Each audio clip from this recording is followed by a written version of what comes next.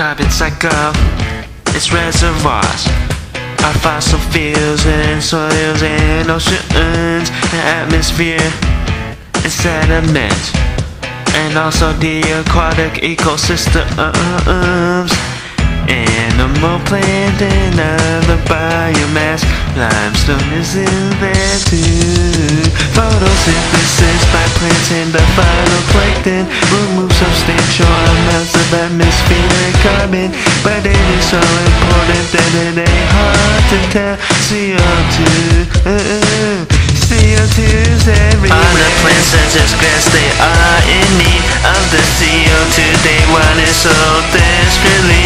Right now they're using it to make their energy, or else they would die and get eaten by the trillions. That's what makes it critical. You can find it in all three forms, such as solid, liquid, and also gas. But it's crazy how it's appearing now, cause fossil fuels are being used way too much. Everyone else in the world can feel it. There's a big hole too.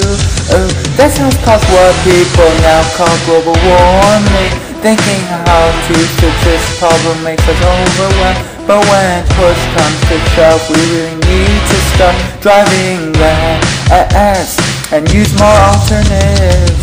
If only we start using clean energy, which is something that we need to do so desperately, then maybe the temperatures won't rise so rapidly. You never know. That actually might just work.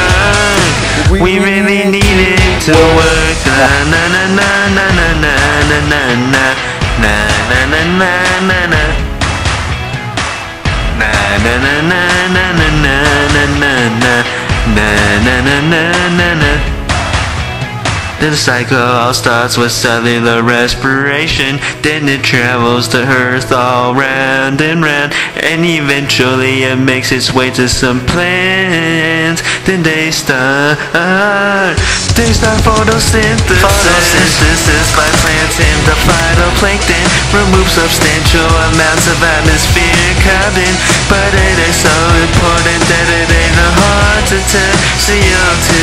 Oh, CO2 is everywhere. Plants are just grass, they are in need of the CO2. They want it so desperately. Now they're using it to make their stay with the high And by that triple Oh oh, that's what makes it critical.